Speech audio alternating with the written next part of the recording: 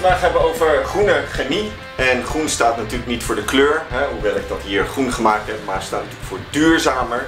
Ja, ehm, de chemische industrie heeft een hele bad rap als het gaat over duurzaamheid. En eh, dat is niet voor niks. Ja, ik moet even spieken, maar Dark Waters is een eh, film die op Netflix draait. Ja, zeer de moeite waard. Ehm, en die ehm, laat zien dat uh, PFAS, een, een stof die ook bij ons veelvuldig in het nieuws is geweest. Ja, um, geproduceerd is in de chemische industrie en overal op aarde aanwezig is. Hele vervelende stoffen zijn dit. Um, en dan wilde ik nog wat noemen. Oh ja, Cradle to Cradle van McDonough. Ja, dat is, een, uh, dat is iemand geweest die, um, die is begonnen aan het, aan het uh, omdenken ja, van industrie. En dat geldt ook voor die chemische industrie. We zijn dus bezig om die chemische industrie duurzamer en dus groener te maken. En in, onder dit thema vallen een aantal zaken, ja, eh, want we willen kijken, we willen het uit, tot uiting brengen in cijfers, hoeveel duurzamer is iets. Um, er zijn een aantal zaken die we gaan bespreken. Ja, we gaan, uh, het, in deze video gaan we het hebben over de atoomeconomie en uh, het rendement. E-factor, Q-factor en grenswaarden, ja, dat komt in het volgende filmpje aan bod. Uh, de atoomeconomie en het rendement die, uh, die vind je terug op BINAS 37H. En wat vind je daar terug? Dan vind je hoe je die berekent. Atoomeconomie is de massa van, de, van het gewenste product gedeeld door de massa van alle beginstoffen. Ja, keer 100%. En het rendement is het praktische opbrengst gedeeld door de theoretische uh, opbrengst keer 100%. Dit zijn dus, atoomeconomie en rendement zijn dus beide uh, getallen en zijn beide uh, procenten. Dus die zitten tussen de 0 en de 100. Ja? nou, hoe, hoe komt dit nou tot uiting? We gaan direct aan het werk met een voorbeeld. Ja, bijvoorbeeld, dit is het eerste voorbeeld. In de hoogovens wordt ijzererts omgezet in ijzer met behulp van koolstofmonoxidegas. Er ontstaat koolstofdioxidegas en uit 250 ton ijzererts wordt er 141 ton ijzer gevormd. Ja?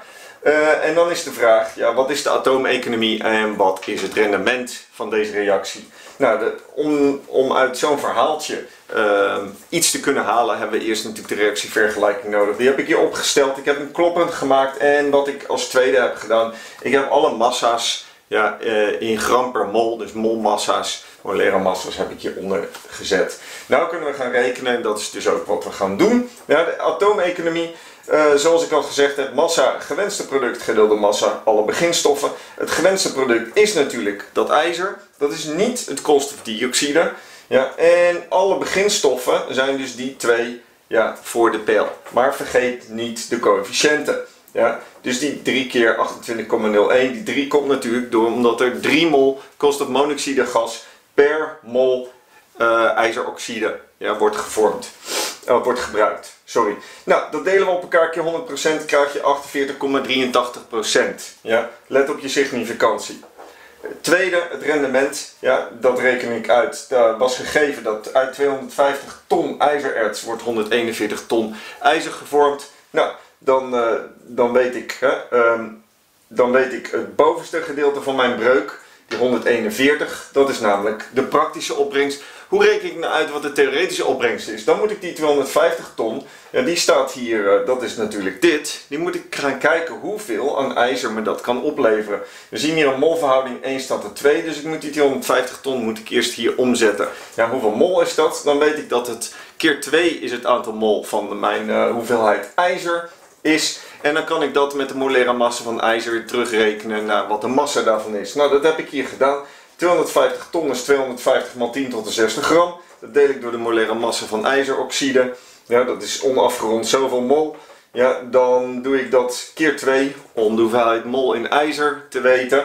Dat is dit onafgerond. En dan deel ik die, dan doe ik dat keer de molaire massa kom ik op 175 ton, dan deel ik die twee op elkaar keer 100% en dan krijg ik dus 80,6% als rendement. Ja, nou dan vraag je misschien af waar is die 19,4% gebleven? Waarom wordt niet gewoon al mijn ijzererts omgezet in ijzer? Dat is waarschijnlijk omdat er ook andere, reactie, andere reacties nog zouden kunnen gaan gebeuren. Maar daar gaan we het niet over hebben, want dan wordt het te complex. Ja? 80,6%. Dus die reactie verloopt zeg maar, met een efficiëntie van 80,6%. Want we halen er maar van het ijzer uit wat we eruit zouden kunnen krijgen.